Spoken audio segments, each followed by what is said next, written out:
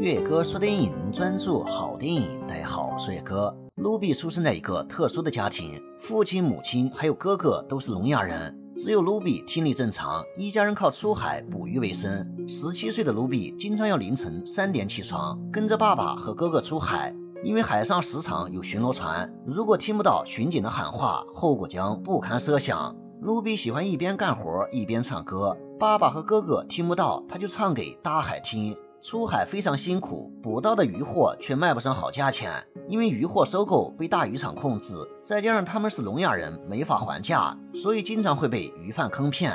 卢比虽然不愤，可也改变不了这种霸王条款，因为他是家里唯一一个健全人，所以大小事情都需要他来操心。忙完捕鱼的事儿，卢比连衣服都没换，就骑车去学校。由于起得太早，课堂上卢比基本都是在神游，眼一闭一睁就下课了，学习更是一塌糊涂。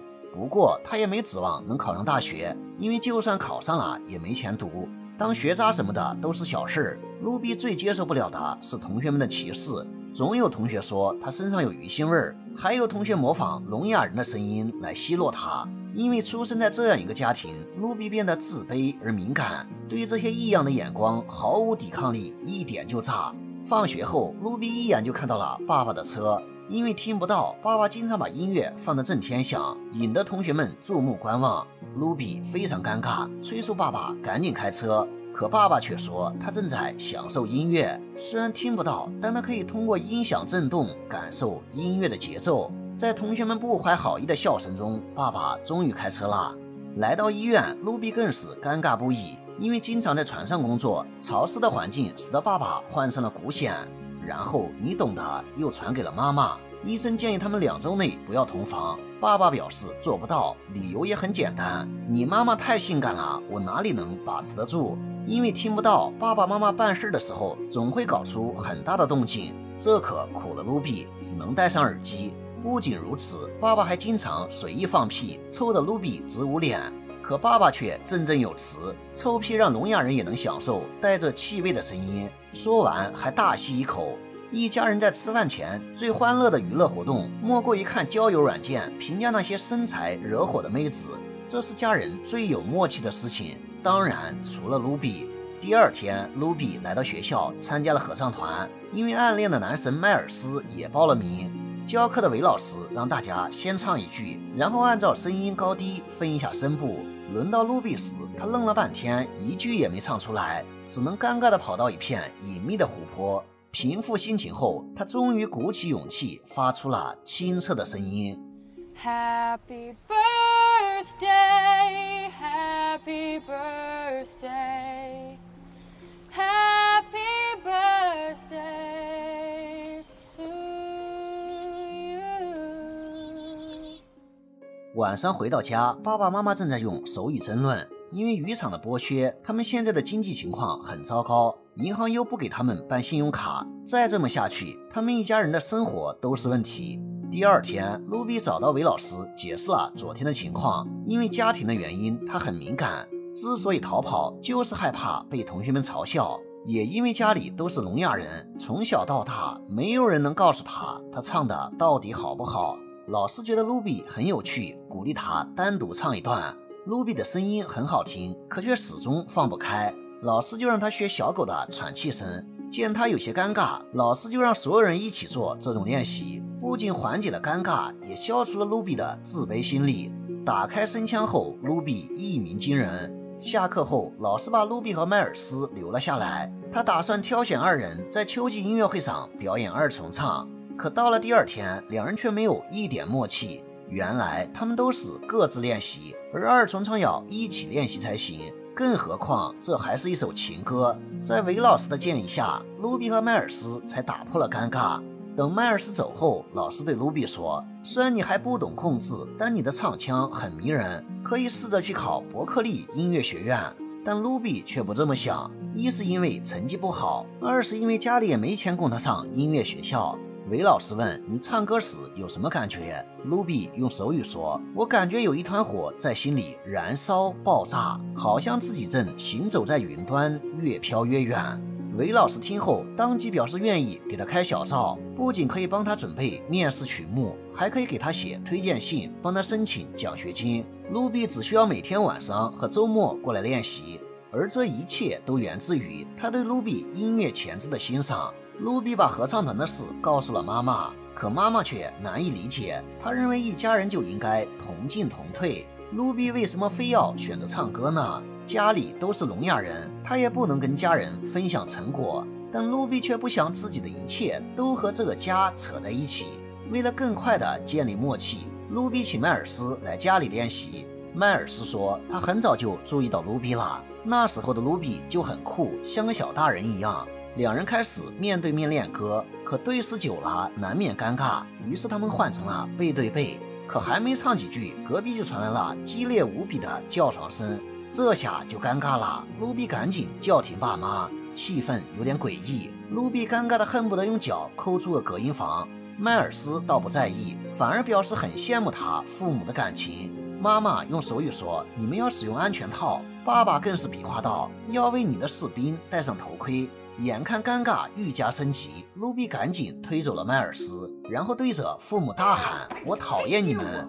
第二天，这件大糗事就被同学们知道了。一个女生还边说边模仿，卢比又羞又气。迈尔斯解释说，他只告诉了一个同学，没想到他会说出去。可卢比却不想听他的解释，他心里很难受，唱歌时整个人都不在状态。强烈的自卑心又开始作怪，因为出生在聋哑家庭，卢比的说话方式从小就和别人不一样。他一直觉得自己的声音是奇怪而难听的。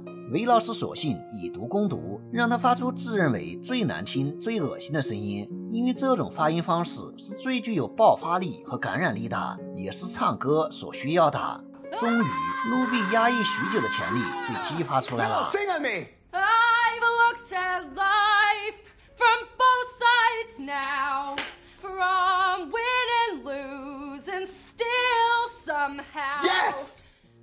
他的歌声带着无尽的忧郁和渴望，又带着一丝孤独和狂想，既矛盾又合理，像极了人们难以诉说的百般情绪。唱完歌后，卢比赶往了渔场委员会，爸爸正在那里争取渔民权利。他可不在意什么面子不面子的问题。因为只有他骂别人的份儿，别人骂他，他也听不见。哥哥还趁机提出了自己卖鱼的想法。经过这一煽动，很多人都表示认可。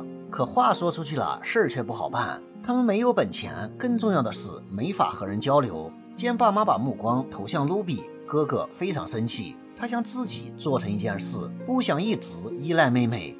凌晨三点，卢比起床出海。这一次，他们没有直接卖给中间商，而是印了海报，让大家把鱼卖给他们，再由他们统一去卖。在卢比的宣传下，他们的生意初见眉目。就这样，卢比一边帮家里做生意，一边学习唱歌。不久后，生意开始有点起色，他们也有了一些本钱，租下了一个店面。家里需要卢比的地方越来越多，这也导致了他上课经常迟到。韦老师警告卢比，如果再迟到，他就不教了。第二天，卢比正要去学习唱歌，妈妈叫住了他，因为电视台的人要来，如果他走了，采访就只能变成默片了。这件事对这个家很重要，卢比左右为难。妈妈问：“你是想让我们失败吗？”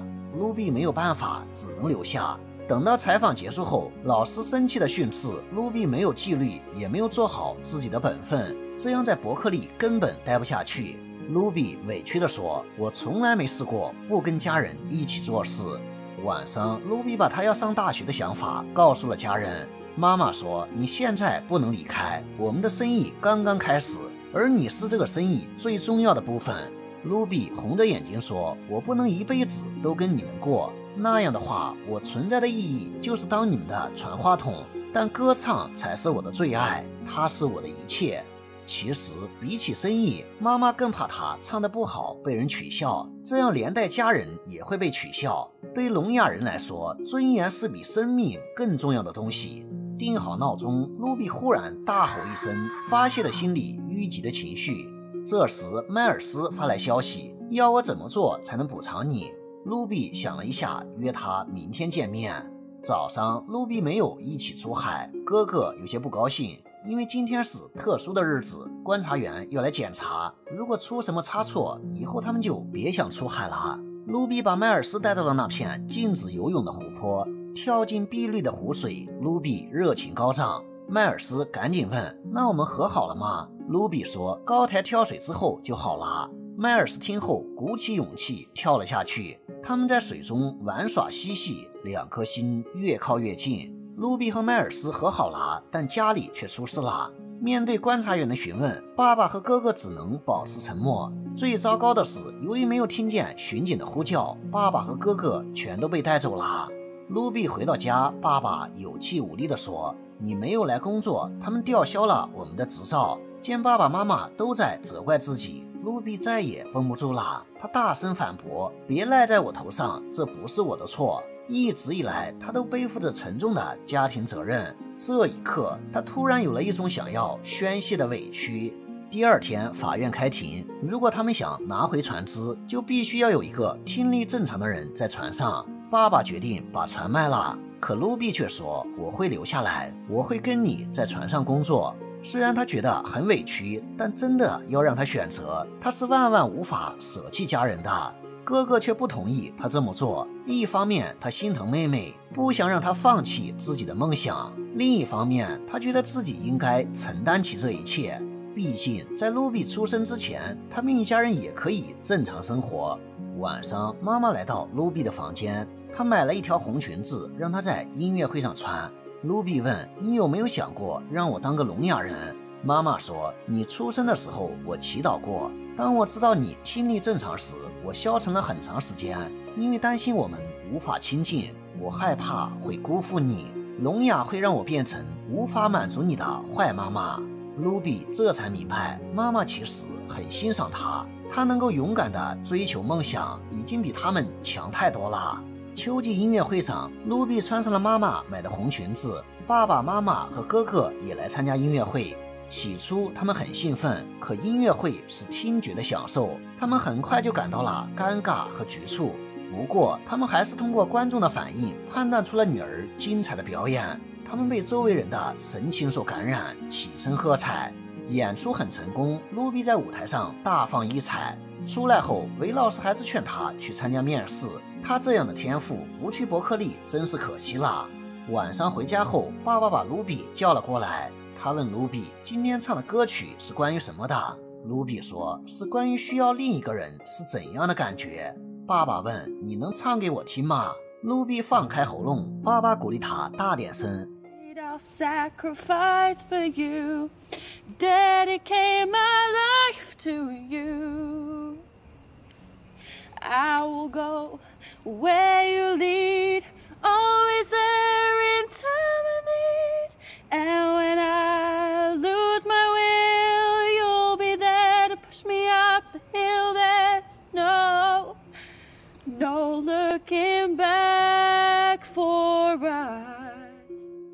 女儿声带的震动，爸爸听懂了这首歌，也明白了女儿真正想要的东西。第二天，爸爸早早的叫醒了卢比，不是去出海，而是去伯克利音乐学院面试。他要帮女儿完成梦想。在去波士顿的路上，卢比给韦老师发了短信。到达伯克利之后，卢比才发现自己竟然没带乐谱。没有伴奏就只能清唱，效果肯定会大打折扣。就在这时，韦老师赶了过来，他请求给卢比伴奏，面试官同意了。钢琴声响起，韦老师发现卢比没有进入状态，他索性停下来，声称自己弹错了，要重来一遍。韦老师用自己的名声给卢比争取到了一次机会。这一次，卢比终于找到了感觉，一家人也坐到了台上。卢比心里升起一股充盈无比的力量。他的状态越来越好。为了让家人听懂，他一边唱一边打起了手语。这场特殊的面试表演打动了伯克利的老师，卢比被录取了。爸爸也把船卖了，开始专心经营渔货生意。临行前，一家四口紧紧相拥，依依不舍。爸爸抚摸着卢比的脸，竟然说出了一句话：“走吧。”这是他从声带震动中摸索出来的。车子缓缓远去，卢比比了一个“我爱你”的手语。等待他的将会是更加广阔的天地，而那个不完美的家永远都是他的寄托与后盾。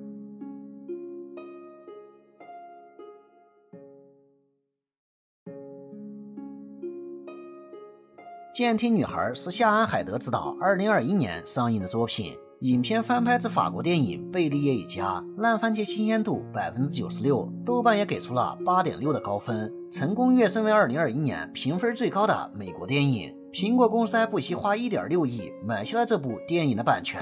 影片着重探讨了以家庭为代表的亲密关系。作为家里唯一对外的信息交流者，卢比承载着家人的期望，同时也是家人的依靠。家人在爱他的同时，也在束缚着他。这个家庭就和千千万万的家庭一样，是爱和矛盾、奉献和索取、理解和牺牲的集合体。影片里的家庭是残缺的，但其实，在现实生活中，很多家庭都是残缺的，无法倾听家人的声音，无法进行有效的沟通。越是亲近的人，越是难以付出耐心。这其实是很多家庭的通病。就像路遥说的：“人们宁愿去关心一个蹩脚演员的吃喝拉撒和鸡毛蒜皮，而不愿去了解一个普通人波涛汹涌的内心。”我们这一生啊，太想去了解外面的世界了，但往往要用很长的人生经历才能明白，我们连最亲近的家人都不曾真正的了解。我们必须承认，家人都是不完美的，但我们能责怪他们的不完美吗？也许那个不完美的家和不完美的我们，才是能够互相温暖的完美契机。好啦，今天的解说就到这里啦。喜欢的话记得关注、点赞加评论。就这样，我们下期见。